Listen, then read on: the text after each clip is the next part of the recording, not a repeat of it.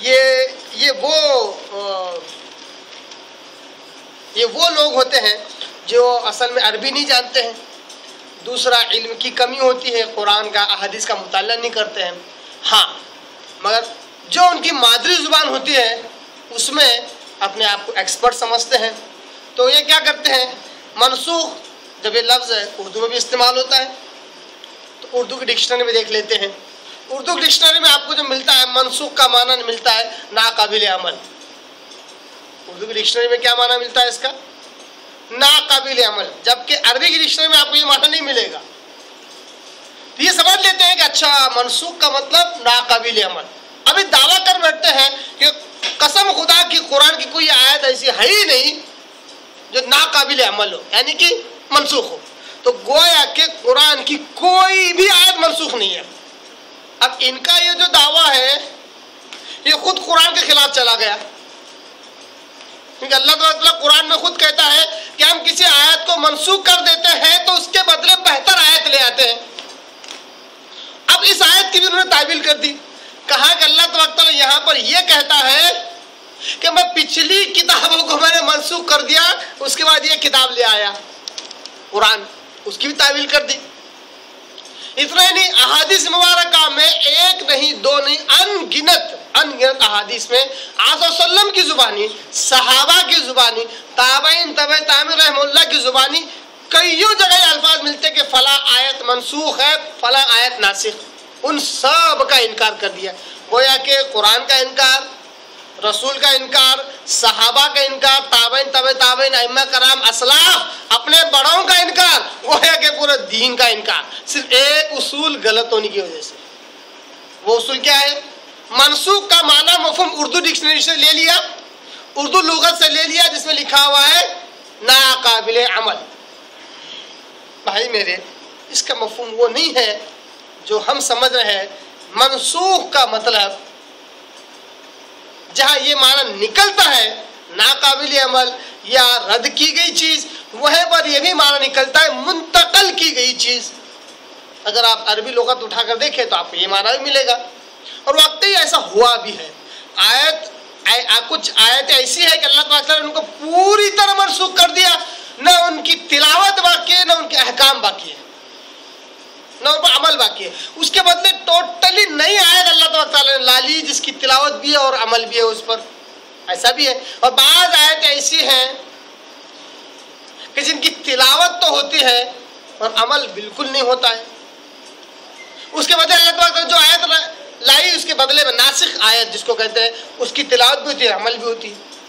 بعض آیت ایسی جس کو اللہ تعالیٰ نے نازل کیا، مگر اس کے حکم کو منتقل کیا۔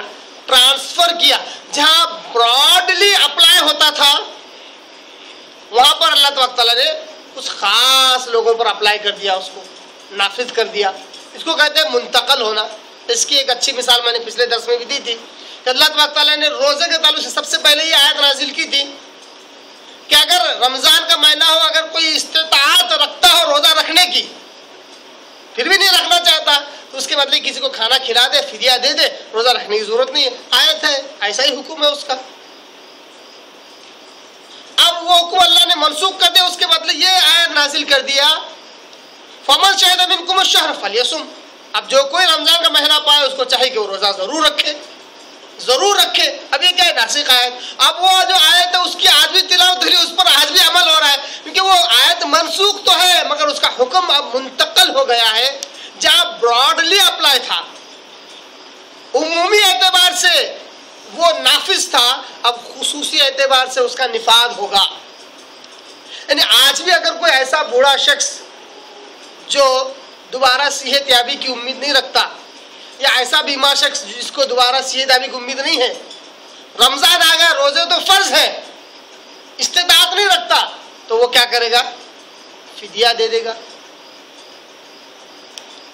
اسی طرح عورتوں کے بھی بہت سے مسائل ہیں جہاں پہ اگر وہ استطاعت تو رکھتی ہے مگر روزہ رکھ نہیں پا رہی ہے تو ایسے وقت وہ فدیہ دے کر اس روزے سے بچ سکتی ہے تو احکام کیا ہو گئے؟ جو عمومی اعتبار سے جن کا نفاذ تھا، وہ خصوصی اعتبار سے نفاذ ہو گیا۔ ویسے اس آیت میں بھی ہے۔ اس آیت میں بھی ہے۔ کیا؟ کہ اللہ تبارک تعالیٰ نے کہا کہ اگر تم دلوں کے برے خیالات کو اگر ظاہر کرو، تو ظاہر سی بات ہے تو عمل میں آ گیا۔ اس کی تو پکڑ کرے گا، اللہ تعالیٰ حساب کتاب لے گا۔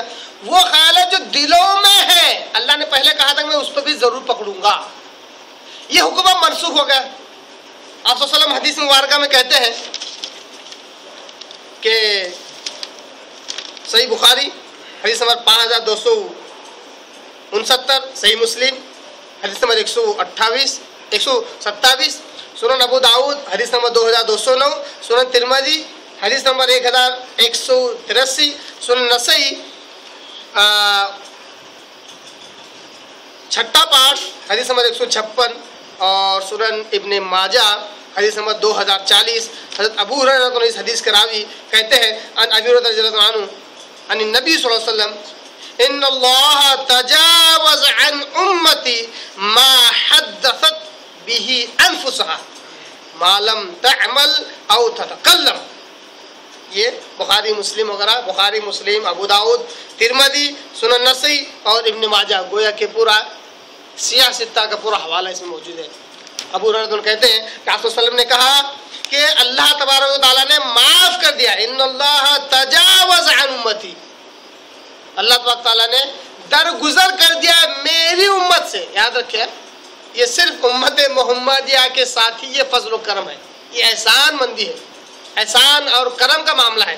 آپ وسلم کہتے ہیں، اللہ نے میری امت کے ساتھ درگزر کا معاملہ کیا ہے۔ ما حدثت بھی انفسہا۔ اس کے دلوں میں آنے والی باتیں، وسوسوں کو اللہ نے میری امت کے معاف کر دیا ہے۔ ما لم تعمل او تتکلم۔ یہاں تک کہ وہ اس پر عمل نہ کر دے یا پھر اس کو زبانی ادا نہ کر دے۔ اس وقت تک